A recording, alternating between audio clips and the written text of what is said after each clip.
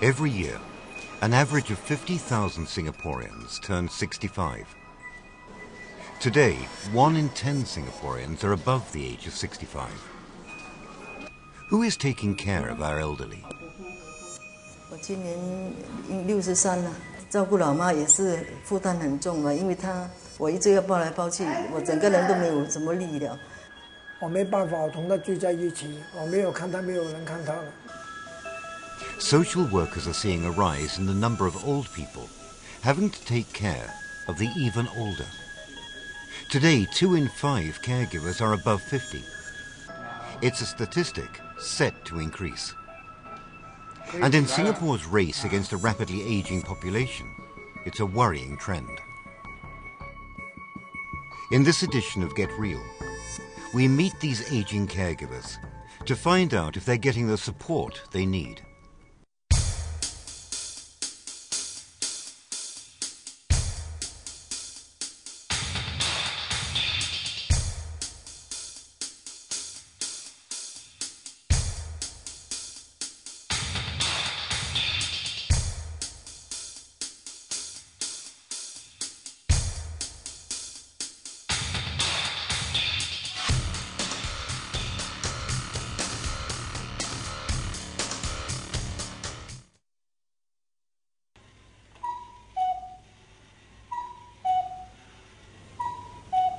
It's midnight. 93-year-old Chui Cheng is still awake. She asks her daughter to bring her a comb. Twice. As Chui Cheng sleeps less than four hours a night, so too does 63-year-old Chu Ha, who is a full-time caregiver to her mother.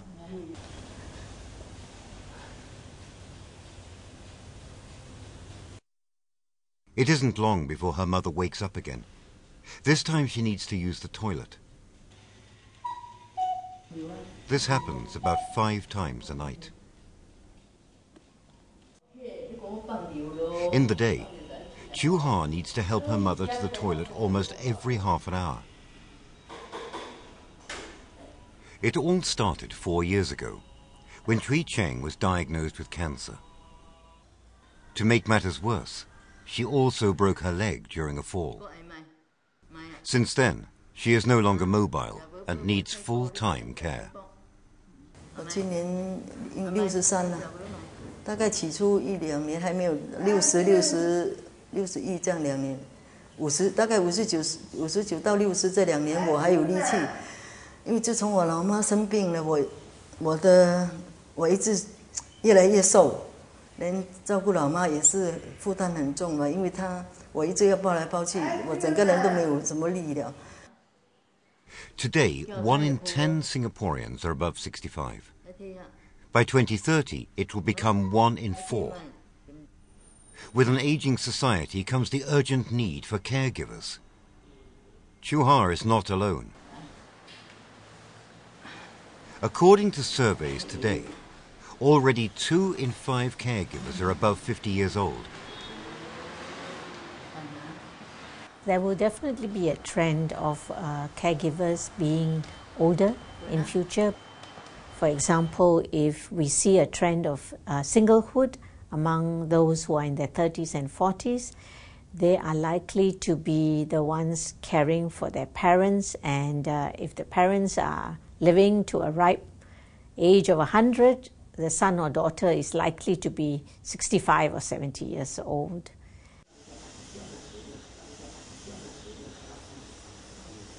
Being the only single in the family, Chu Ha became the default caregiver. But caregiving became more difficult when her mother started showing signs of dementia last year. 我这个人怎么讲，应该是比比较不能够 有太多压力，因为我我如果我老妈她一直吵的话，我我心里很很难受，所以我尽量不要给她喊太多。尽量照顾她，所以我我给我自己很大的压力。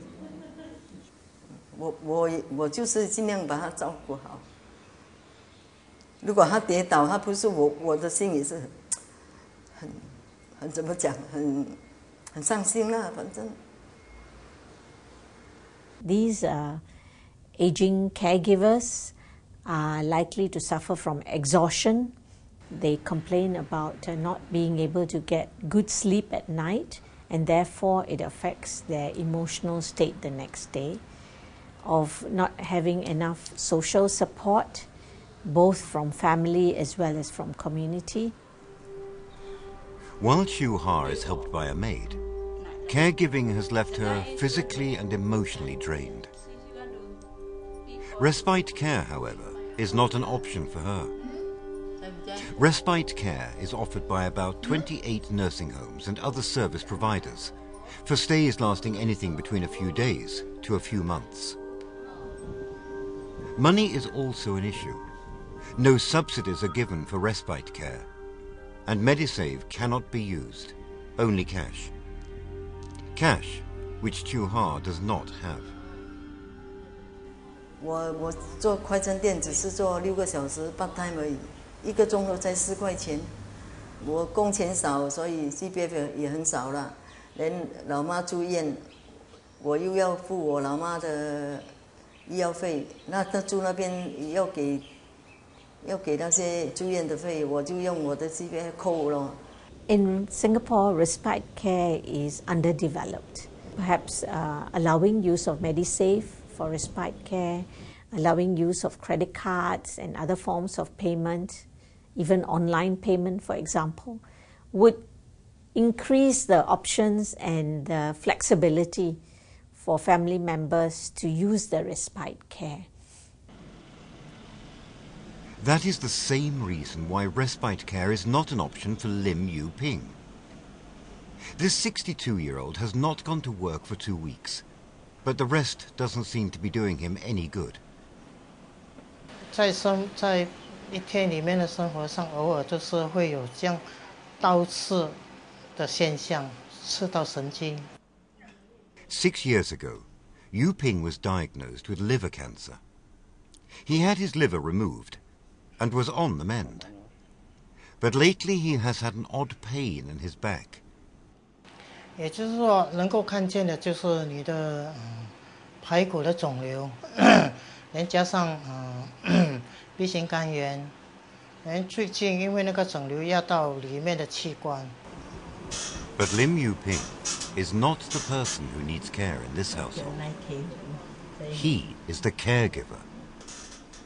He has to take care of his wife, 57-year-old Susan Muck who became wheelchair bound after suffering a stroke two years ago. He did hire a maid to help, but the maid did not last a year. 那么女佣来的时候，觉得我们家的工作很繁重，尤其是她，因为我太太大概是八十公斤左右，所以在这一方面她是一个 女孩子啊，她很难服侍她。Spouses like Yu Ping form the largest group of caregivers in Singapore. Out of a sample size of 3,000, 30% of patients identified their spouse as the main caregiver. Both Yu Ping and his wife's medical bills add up to five to six hundred Singapore dollars every month. The couple's only son is an odd job labourer who has his own family to provide for. after the break. Because I singer. No more hope. Helping aging caregivers like Chu Ha and Yu Ping.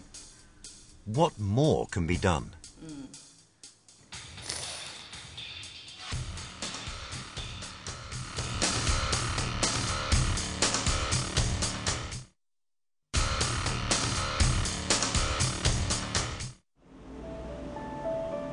It has been two weeks since 62-year-old Lim Yu Ping has come to work.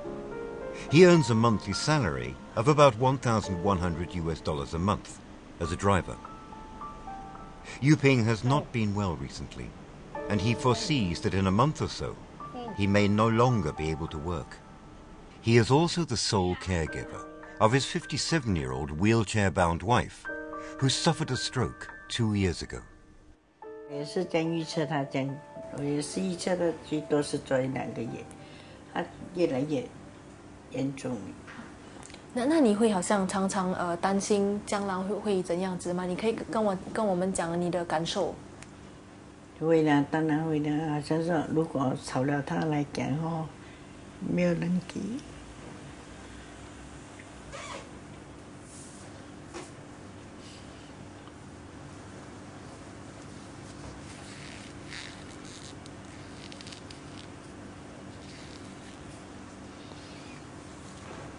担忧啊，他说大没有再怎么办？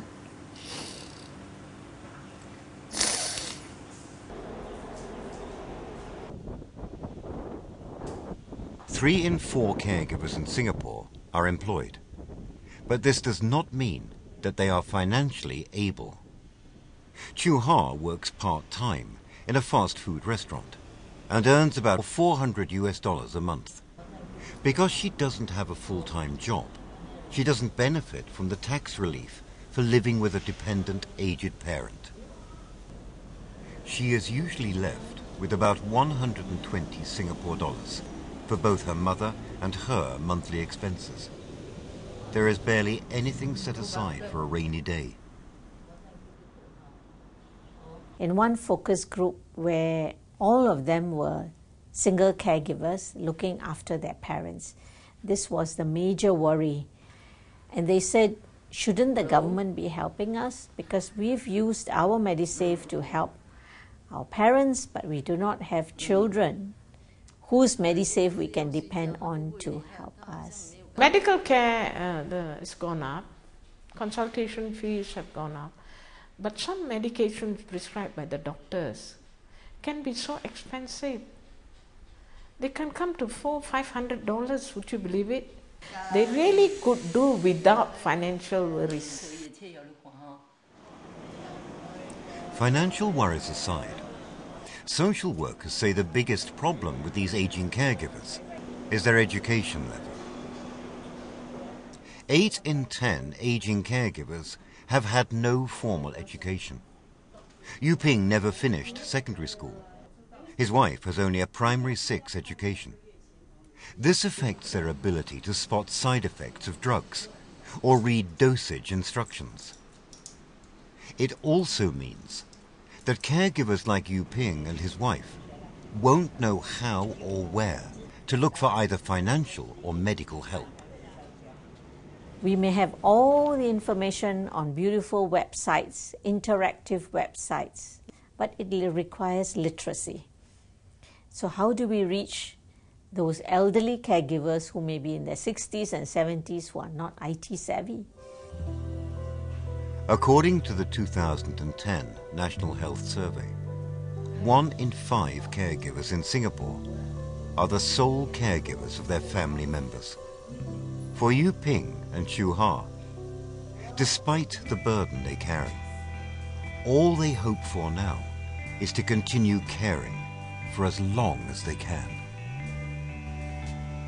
我年轻的时候，我什么小的时候，我老妈照顾我。现在他老了，我照顾回他，所以只要照顾他好，我我我自己不重要的。What happens when the elderly have no family members to depend on? What happens when they are elderly neighbors who have to rely on one another?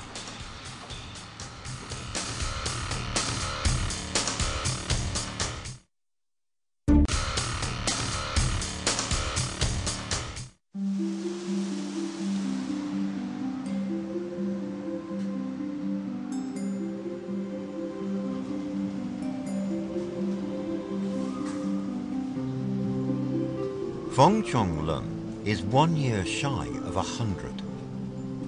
For the last 43 years of her life, this 99-year-old has been living alone in this one-room rental flat at Northbridge Road.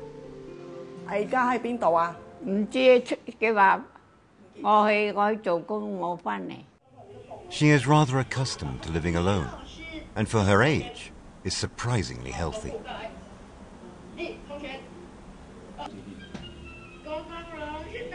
However, she is no longer able to go out of her flat without assistance.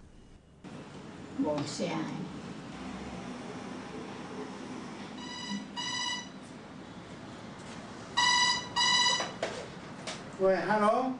I don't lie. I don't lie. The call connects her to Chin Siu, another elderly resident in the same block.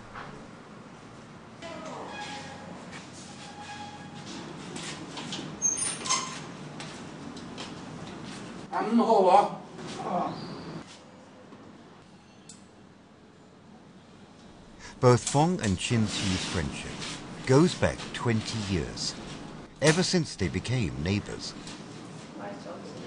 Over time, 85-year-old Chin Siu became Fong's default and part-time caregiver. 舊時同我買嘢買飯。你叫佢係咩啊？我叫佢啊。呀。哦，旧支同我做嘢洗地。我看老的比比较容易照顾老的，少年没有这个耐心。 Peace Connect is a voluntary welfare organization, or VWO, that provides help and care to elderly folk, including those without immediate family members.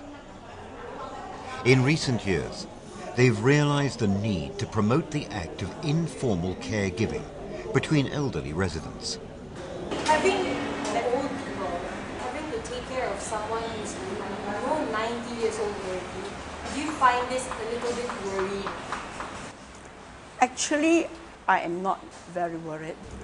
The, the, the elderly in this estate are very street smart. Yeah, they are. I think they are more street smart than people who are like us You know, we are more protected when we were young and so on. Lately, however, Chin Siu has been experiencing some weakness in his legs. He is also suffering from high blood pressure and high cholesterol. As a result, Fong isn't getting as much help as she used to. 佢系好人系咪？系佢帮你啦。诶帮得啊，好帮得， 而家幫唔得，交通咩諗法啊？又諗法，咁樣佢未接到，唔知點樣，我都唔知點樣啊！你行得嘛？而家行得到啦嘛？Chin Siu and Fong live in two of Singapore's 44,000 rental units. Four in ten units are occupied by at least one person 65 years and above, and they often rely on each other for medical advice or care. While that is worrying, social workers say many of these residents don't want to go into nursing homes. About 20% of the residents here are on public assistance. This means they receive a monthly allowance of $400 or 327 US dollars a month. This often becomes a reason for not wanting to move into a nursing home. They feel that that's cash that they can count and see in front of them, and they have control over. So when you tell them they're going to the nursing home, and then sorry uncle, you're not going to get your $400 because that amount has to go to feed you in a nursing home, they're not, they're not happy. 96-year-old Lo Kam Tin, who also lives in a rental unit, has moved in and out of a nursing home a total of two times. Despite having no family, he refuses to live in a nursing home. 66-year-old Kong Kok Seng inadvertently became his caregiver because of one decision, agreeing to become Tin's co-tenant in this one-room flat some 20 years ago. The Housing Development Board, or HDB, requires seniors to apply for a rental flat in pairs due to the limited supply of rental flats.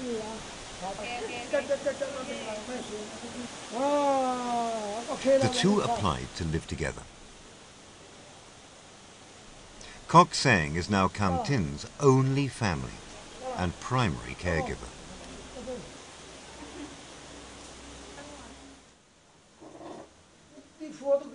His patience is tested constantly, as Kam Tin also routinely forgets where he's hidden his money. Today, he found it in his boxes.